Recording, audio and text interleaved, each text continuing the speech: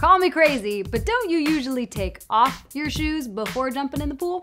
Apparently, this is not a tradition that Bella Thorne participates in. But on a serious note, you guys, before you or I judge her, let's go over her recent confession about her own mental health. Bella Thorne has been slammed for a tweet she posted diagnosing herself with depression. She said, came to the conclusion that I struggle with depression. You aren't alone, with a red heart emoji. Now, here's the thing the phrasing of that tweet does make it sound like she did her own research and then came up with this on her own, when really, a doctor is the only one who can technically diagnose you with depression. Naturally, some people were upset that she was throwing out this diagnosis seemingly on a whim when depression is actually a very serious and sometimes life threatening condition.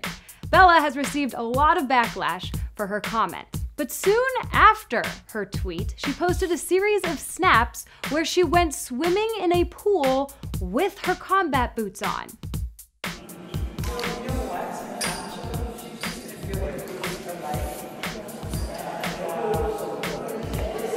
They're okay. Now, I don't know about you guys, but this video seems odd to me. Whether she has depression or not, I do think that she's been acting a little bit strange on Snapchat. Just a little while ago, she went to a basketball game and took some interesting snaps in the bathroom. Now she's wearing boots in the pool. I'm not a doctor, but in my personal opinion, I think that she may need some help. She just seems a little unstable right now. I actually hope that the backlash for her self-diagnosed depression inspires her to go see a professional to get help working out whatever it is she's going through.